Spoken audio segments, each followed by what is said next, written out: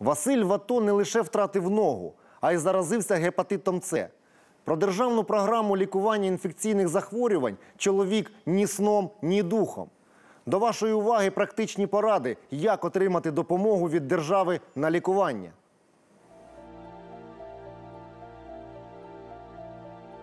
Моє слово нічого не означало. Він сказав, що мам, я ховатися не буду. Сказав, що щоб ти спокійно спала і племянники Судьба така. Тетяні боляче згадувати синову війну. Як кожна матір, жінка не хотіла, аби син ішов під кулі. Майже рік вона жила від дзвінка до дзвінка, який з нетерпінням чекала із фронту.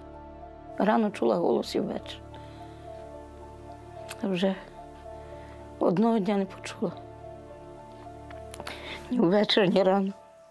У той день Василь, син пані Тетяни, підірвався на розтяжці під щастям. Внаслідок важкого поранення втратив ногу.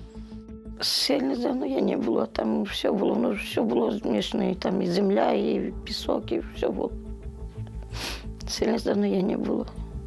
І спасали життя. І Він вже в Києві відрізав. Однак на цьому жахливі наслідки війни для хлопця не закінчилися. Під час переливання крові в госпіталі його заразили гепатитом С. Коли мене привезли в госпіталь, брали аналізи, то було все нормально. А через три місяці це виявили гепатит С. В госпіталі заразили. Та все. Сказали, що з приливанням крові. Бо ж так чим там можна. Там багато хлопців було. В Україні вже кілька років діє державна програма, яка займається безкоштовним лікуванням цієї хвороби. Та військові нічого про це не знають. Ну, я не чув про таку програму, ніхто мені не розказував. Люди, участвующие в АТО, им вообще не информируют даже о том, что есть государственная программа. И они могут получить там бесплатное лечение. У кожній області є медичний осередок, який спеціалізується на лікуванні вірусних захворювань за державною програмою. Посилання на центри лікування та їхні контакти ви зараз бачите на екрані. Отже, щоб отримати лікування за держпрограмою, потрібно звернутися в такий центр за місцем прописки і написати заяву на ім'я головного лікаря з проханням внести вас у програму. Тож журналісти програми Дємбіль вирішили перевірити, як вона працює в реальному житті. Наш герой родом із Кам'янця-Подільського. Відповідно, центр, у якому він може отримати лікування, знаходиться у місті Хмельницький. Ми телефонуємо у місцеву інфекційну лікарню, де нас люб'язно записують на прийом. І вже наступного дня ми разом із Василем Джаламагою йдемо до лікарні. Охайний коридор приймальні зовсім немає черги. Василя з дружиною запрошує у кабінет головний лікар. При тому, що ніхто з медперсоналу не знав, що з ветераном будуть журналісти. Головний лікар просить зачекати в коридорі знімальну групу. Пояснює, що обговорюватимуться інтимні питання, які є таємницею між хворим та лікарем. На консультацію звернувся військовий, це нас вже не вперше. І е, якщо говорити про конкретний випадок, то в цього військового ще не підтверджений повністю діагноз гепатиту С, є тільки підозра.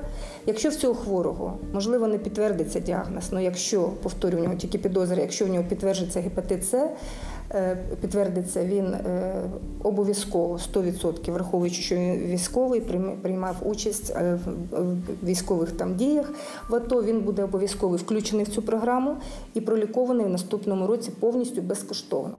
Цього року Хмельницький центр вже вичерпав програму. Але як пояснює Оксана Піддубна, хто не встиг у 2016-му уже занесені в реєстр і є першочерговими у 2017 році. До речі, лікування зараз е, не таке, яке воно було в в позаминулому році, тому що вже зареєстровані в Україні е, препарати прямої противірусної дії, які вже не мають таких побочних е, дій, як в попередньому лікуванні.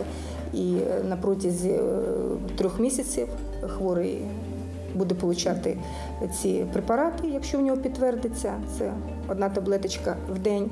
І буде, ну, безперечно, буде вестися моніторинг його стану клінічного, лабораторного, і е, є надія 100% майже, що він вилікується. Окрім постійного новаторства у лікуванні гепатиту С за держпрограмою, є позитивні зрушення і щодо фінансування. Вже є інформація, що більше буде виділено коштів на ці препарати, і я думаю, що більшу кількість хворих ми пролікуємо за рахунок державної програми. Порятунок хворих справа рук самих хворих. Вже зараз у цьому переконався і Василь Джаламага. Своїм радити, щоб йшли, цікавились, якщо Бо ж нам ніхто нічого не доносить до відома. Так, самим прийти і добиватися. Ми сподіваємось, що діагноз Василя не підтвердиться. Та якщо ж він таки хворий, то чоловік матиме право на високоякісне та безкоштовне лікування.